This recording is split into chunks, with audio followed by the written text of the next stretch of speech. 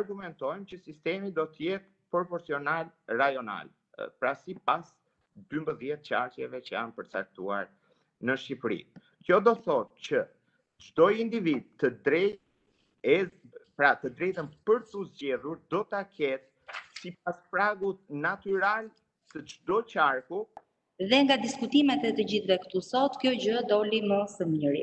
Sa i takon çështjes së nivelit të pragut kombëtar, i cili do të lihet për t'u përcaktuar në Kodin Zgjedhor, besoj se me të njëjtën praktikë pune, me të njëjtin model të mirë se si punuam për riformulimin e dispozitave kushtetuese, ne do të vijojmë punën në mënyrë që të adresohen të gjitha çështjet siç ngrihen këtu.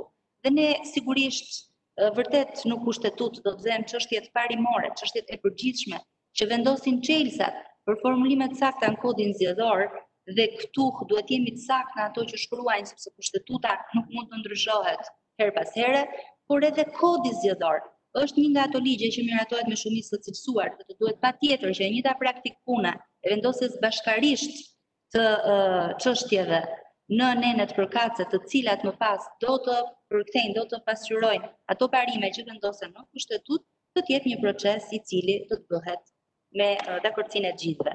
Kështu që mendoj se garancitë e këtij lloj procesi, të kësaj lloj vendimarrjeje i kemi treguar që ekzistojnë dhe do të vijojnë edhe në vijim. Sa i takon shqetësimit që ngriti zonja uh, Hajdari me të drejtë, E keni kuptuar drejt zonja Hajdari që listat janë të hapura dhe kjo duhet vendosur në kushtetutë. Nëse nuk e vendosim këtë gjë në kushtetutë, është e pamundur që në kodin zgjedhor ne të bëjmë parashikime të tilla. Niveli, jo më pak se 2 të tretat, është niveli dysheme. Pra listat pa diskutim mund të jenë edhe më shumë se 2 të tretat të, të hapura. Dhe kjo është bërë, siç shpjeguam më parë të gjithë, edhe për të garantuar konkurrueshmërinë, por edhe për të ruajtur atë që për ne është shumë e rëndësishme, standardin e barazisë gjinore tashmë të arritur në vendin tonë.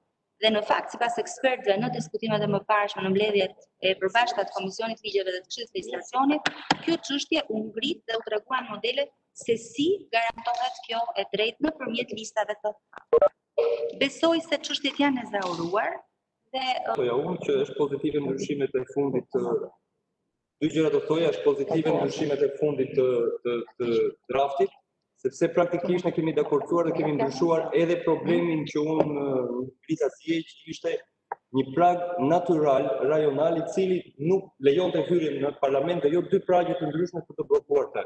Dhe ky është një ndryshim pozitiv, njëkohësisht do thoja që unë do preferoja të sanksionohej në Kushtetutë hapja e listave plotësisht sepse thelbësore në këtë rast dhe gjithë thel, thelbi i, i iniciativës sonë janë listat e hapura.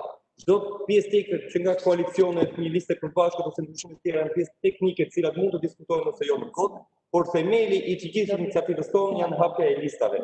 Dhe kjo është pjesa thelbësore. Dhe duke qenë se i rashë pak shkurt, doja meqë më dha rasti të falenderoj edhe zotin Shameti si socialistin e parë që pranoi dhe u bashkëngjit listave të hapura. Ky është një lajm i mirë që dhe ndërmjet socialistëve ka njerëz që e çmojnë dhe i bashkohen kësaj pune. Faleminderit.